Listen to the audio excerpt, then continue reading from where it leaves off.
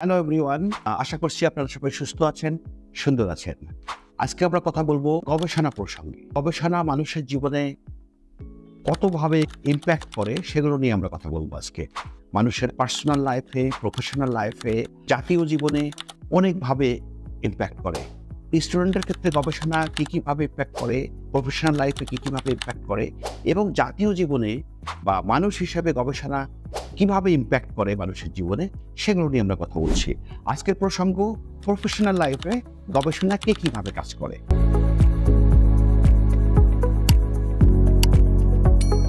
আমরা যদি প্রফেশনাল লাইফের কথা বলি, আপনারা জানেন, আপনারা সবাই বিভিন্ন প্রফেশনে আছেন। সেখানে আপনারা ভালো করছেন কেউ ডেভেলপমেন্টের চেষ্টা করছেন কেউ ডেভেলপমেন্ট করতে পারছেন না।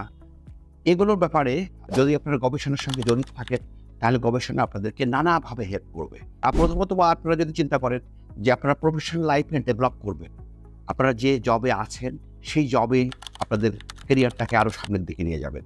সারা পৃথিবীতে প্রফেশনাল ডেভেলপমেন্টের যতগুলো জায়গা আছে, তার মধ্যে গবেষণা বা রিসার্চ বা জার্নাল আর্টিকেল সবচেয়ে বেশি ইনফ্লুয়েন্স করে। আর বর্তমানে আপনি যদি একটা ভালো কোম্পানিতে জব করছেন, সেই কোম্পানিতে যদি আপনি মনে করেন আপনার প্রমোশনের দরকার আছে প্রমোশনের ক্ষেত্রে গবেষণার যে পেপার যেটাকে আমরা আর্টিকেল বলি জার্নাল পাবলিকেশনস বলি বা রিসার্চের রিপোর্ট বলি, সেগুলো যখন আপনার সাবমিশন করবেন, সেগুলো যখন ভালো জার্নালে পাবলিশ হবে, তখন সেগুলো আপনার ক্যারিয়ার ডেভেলপমেন্টের জন্য, আপনার প্রমোশনের জন্য কাজে লাগবে। আর বাংলাদেশ সরকার টু থাউজেন্ড সিক্সটিনে একটা পরিবর্তন জারি করেছে, যেখানে বলা হয়েছে যে এখন থেকে যারা ফার্স্ট ক্লাস অফিসার যারা গভর্নমেন্টের চাকুরিতে ভালো পজিশন হোল্ড করছে, ওনাদের প্রমোশনটা এখন থেকে হবে পেপার বেসড বা রিসার্চ বেসড আগে যেটা ছিল টাইম বেসড টাইম মানে একটা টাইমের পরে আপনার অটোমেটিক্যালি প্রমোশন হয়ে যাবে। কিন্তু বাংলাদেশ সরকার চিন্তা করেছেন যে না, আমাদের দেশটাকে যদি আমরা স্বয়ং সম্পূর্ণ দেশে পরিণত করতে যাই, যদি আমরা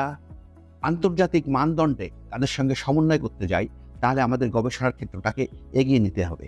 সেক্ষেত্রে গভর্নমেন্টের পরিপত্রটা হচ্ছে যে এখন থেকে যত প্রমোশন হবে, সেই প্রমোশনগুলোতে number of publications article submit করতে হবে প্রুভ করতে হবে যে আপনার রিসার্চের সঙ্গে জড়িত।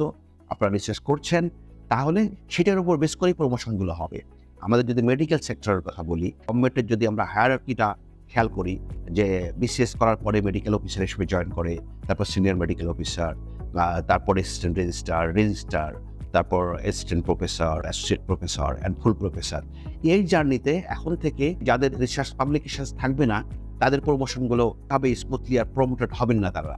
অ্যাসিস্ট্যান্ট রেজিস্ট্রার থেকেই এই রিসার্চের বা আর্টিকেল জার্নাল পাবলিকেশনের কাউন্টিংটা শুরু হয় ওনাদের একটা পাবলিকেশনস লাগে।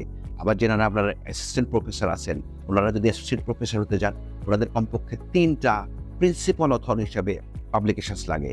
যারা অ্যাসোসিয়েট প্রফেসর আছেন, ওনাদেরকে প্রফেসর হতে গেলে কমপক্ষে ছটা পাবলিকেশন লাগে। এটা হতে পারে ন্যাশনাল জার্নালে এটা হতে পারে ইন্টারন্যাশনাল জার্নালে যে জার্নালে হোক জার্নালটা স্ট্যান্ডার্ড জার্নাল হতে হবে। যদি ন্যাশনাল জার্নাল হয় সেটা বিএমডিসি অ্যাপ্রুভ হতে হবে। যেহেতু বাংলাদেশের বিএমডিসি হচ্ছে সেই অথরিটি যারা আসলে বাংলাদেশের মেডিকেল সায়েন্সের শিক্ষার ক্ষেত্রে সার্টিফাই করে। আর ইন্টারন্যাশনাল হলে সেটা ইন্ডেক্স হতে হবে টিওয়াই থাকতে হবে, সেটা আইএসএন জার্নাল হতে হবে, কি? তার মানে দুভাবে পাবলিকেশনগুলো করতে হবে। একটা হতে হবে ন্যাশনাল জার্নাল থেকে পাবলিকেশন অথবা ইন্টারন্যাশনাল হলে সেগুলো ইন্ডেক্স জার্নালে হতে হবে। তাহলে উত্তর উত্তর প্রফেশনাল লাইফে আপনাদের ডেভেলপমেন্টটা সুসমন্বিত হবে এবং আপনারা প্রমোটেড হবেন। পরবর্তীতে আপনারা আপনাদের প্রফেশনাল লাইফটাকে একটা সুন্দর জায়গায় আপনারা নিয়ে যেতে পারবেন। ধন্যবাদ সবাইকে।